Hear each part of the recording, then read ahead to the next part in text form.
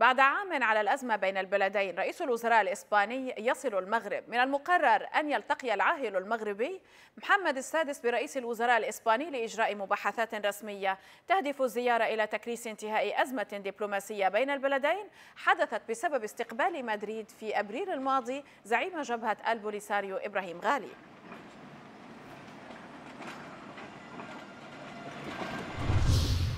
كانت قضية الصحراء أبرز ملفات الخلاف بين إسبانيا والمغرب فمدريد لم تكن تعترف بسيادة الرباط عليها والتزمت الحياد على مدار سنوات.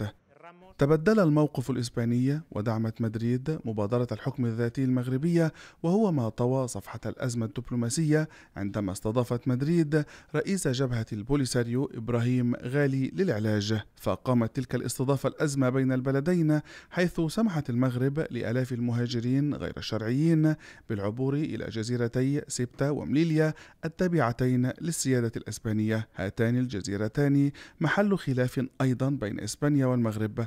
فالرباط تصف سبتة ومليليا بالمحتلتين وتستمر في المطالبة باستعادتهما بينما ترفض إسبانيا كليا أي حديث عن مفاوضات بشأنهما. هناك أيضا أزمة ملف الصيد إذ فشل المغرب والاتحاد الأوروبي في تجديد اتفاقية الصيد وهو ما يزعج إسبانيا صاحبة أكبر أسطول صيد في التكتل.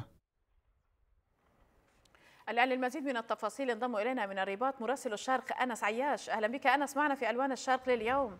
الزيارة إذا أصبحت رسمية من قبل رئيس الوزراء الإسباني إلى المغرب. ضعنا في أجواء هذه الزيارة حيثياتها أيضا أنس ما سيتم مناقشة والذي سيترتب عليها. نعم هديل هذه الزيارة هي الأولى لمسؤول كبير إلى المملكة منذ جائحة كورونا. وطبعا تأتي لإعطاء خارطة طريق جديدة للعلاقات المغربية الإسبانية بعد الأزمة الدبلوماسية التي شهدتها العلاقات بين البلدين على مدى عام. زيارة رئيس الوزراء الإسباني رئيس الوزراء الإسباني اليوم. تأتي في سياق يعني استعادة العلاقات الدبلوماسية التي تجمع بين الرباط ومدريد وبناء أسس جديدة لهذه العلاقة على أساس الاحترام والثقة المتبادلين. وطبعا يأتي هذه تأتي هذه الزيارة بعد الموقف الإسباني الداعم ل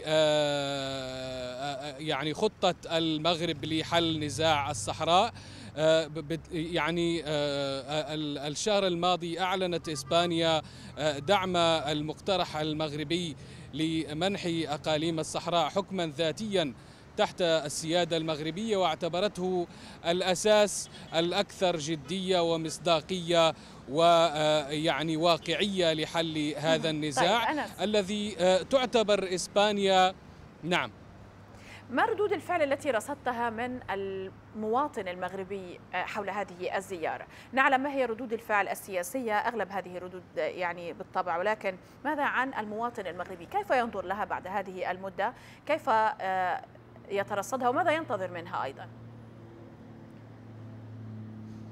نعم هديل في الشارع المغربي يعني من من من جانب سياسي هناك المواطنون يعني عموما والمراقبون يعتبرون هذه الزيارة تأتي في سياق انتصار دبلوماسي حققته الدبلوماسية المغربية لأن قضية الصحراء تعد هي القضية الأولى لدى المغاربة سواء شعبيا أو على المستوى الرسمي.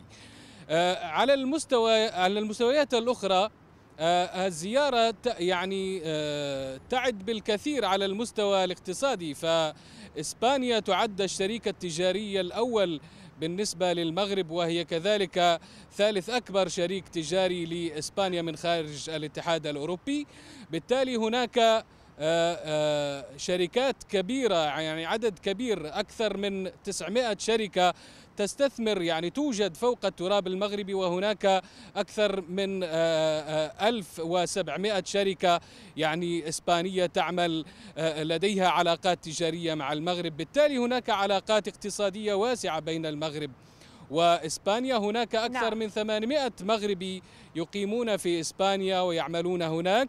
الأزمة الدبلوماسية بين البلدين تؤثر على مصالح المواطنين في الضفتين وبالتالي اليوم إعادة هذه العلاقات إلى سابق عهدها يعني يعد بشارة خير بالنسبة للمواطنين يعني وعامة الناس الذين تأثروا بتداعيات فيروس كورونا وآثارها الاقتصادية وكذلك إغلاق الحدود الذي كان بين البلدين وخاصة عند معبري سبتة ومليليا في شمال المملكة.